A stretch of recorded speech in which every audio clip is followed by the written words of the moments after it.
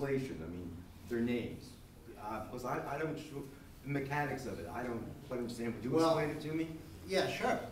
Um, I think that what you're getting at, because you made this question, that you asked this question at our award meeting a few months back, um, is you're highlighting the fact that if I got into office, I would be a freshman legislator, and that is true.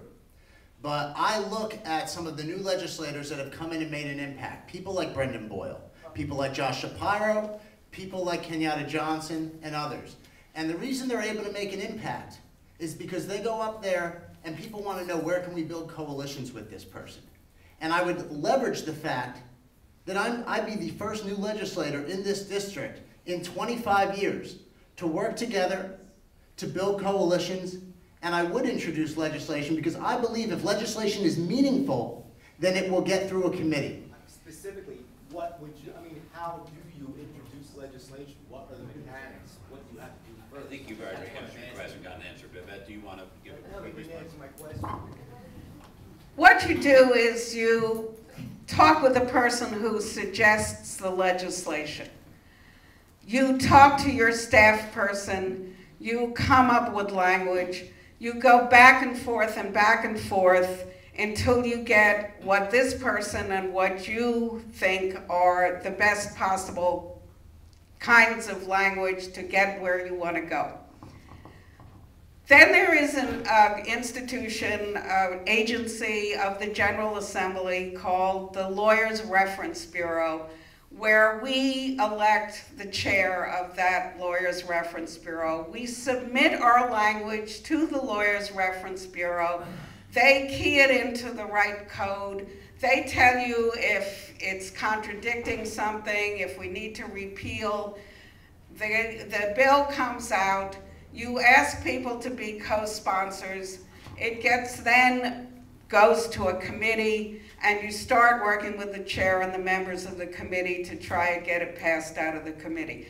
This is what I did, for instance, for a bill that has to do with forbidding people, forbidding anybody from putting subcutaneous chips in, under the skin of anybody who cannot give full consent. The Republican chair of the committee where that bill went, and I have had a great conversation. He is going to report that bill out, and we are going to see it pass the House. I work with Republicans all the time. I like to work with Republicans on privacy issues because they are very good. And I work with them on divestment issues, and we're going to see a bill come out of the Senate that I worked on in the House that is going to keep our public money from going to terror sponsoring and genocide sponsoring countries because I work with the Senate on issues that are important to this district. Privacy issues, that's really interesting. Can we just Sure. go back? Take the next question. I just, I've asked people, just introduce Sure, yourself. when you I'm make Bill it. West. I've uh, been a resident of the 182nd since 1979. And I'm very interested in the issue of health care. Um, As you know, with the passage of the bill in Washington, the implementation of the law now goes to the states. And I think we have a very serious problem in Pennsylvania. And there are two issues that that are in Harrisburg right now that I'm hoping that you can address. One is the Adult Basic Program, uh, which is a state-run program which is funded by the Blue Cross Blue Shield Associations as part of their uh, charitable obligation. Uh, They are not funding this after the end of this year, and 40,000 people uh, who are very poor uh, but don't qualify for Medicaid will be off the rolls at the end of this year if nothing is done in Harrisburg. And the second is, uh, has to do with rate regulation and health insurance. Um, Pennsylvania has the poorest uh, powers for regulation of, of health insurance rates of any state in the union. Uh, there, this is also an issue that's before Harrisburg right now. I mean, uh, what do you two propose to do with this? Gregg, why don't you take that first then? Sure, and I would like to respond to what Babette said real quick first. Uh, number one, I find it very interesting that privacy is something that's important to you because something that's definitely private is a person's sexuality. And you made it very clear last, a couple weeks ago, that that's not something that you respect by publicly mocking my sexuality at a public fundraising event in front of several people. Secondly, um, when you talk about your, your great knowledge about how you get a bill to become law, according to your own website, 1996 was the last time, this was Bill Clinton's first term, still Bill Clinton's first term in office, 1996 was the last time that you authored a piece of legislation that actually became law. I know you co-sponsor a lot of things, but we need a person from this district that's not just going to co-sponsor, but is actually going to lead. As for Bill's question, healthcare, I strongly support House Bill 1660, which would revolutionize healthcare in our Commonwealth. It would bring single-payer healthcare here, and what that would do is it would ease the burden on employers. It would retrain our health insurance workers to implement the new system. Our 12.5 million citizens are a formidable bargaining force for the pharmaceutical companies. We would actually restore the emergency room to actually dealing with emergencies. It would reduce personal bankruptcies that result health, uh, from healthcare crises. It would reduce administrative costs, and it would curb defensive medicine.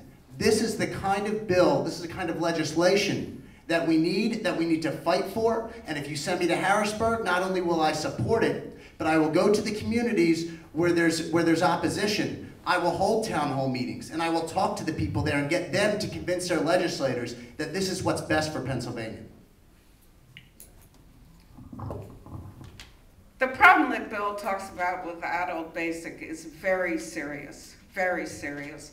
I have been corresponding with the Insurance Commission, with Blue Cross, with the governor to try and find a solution to this. We are all very concerned about this across the state, uh, particularly people from, from areas where there are a lot of folks already in poverty who cannot afford regular health insurance the um, problem of single payer or the challenge of single payer, the House bill number, which is 1660, I am a co-sponsor. I am a very strong advocate for single payer. And I am also on a bill and have just uh, been in a press conference talking about how we can structure our infrastructure here, our bureaucracy in Pennsylvania, so that we can take advantage of every single federal dollar that comes down with this new uh, federal health bill.